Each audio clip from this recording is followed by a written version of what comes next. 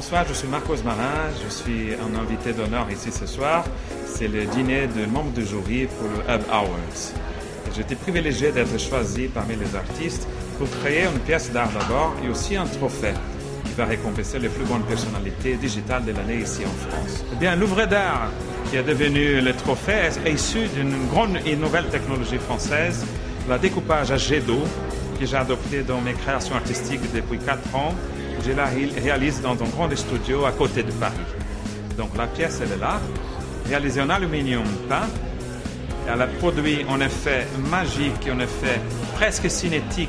C'est ça l'intention, le trophée, qui est, à vrai dire, une pièce d'art signée Marcos Marin.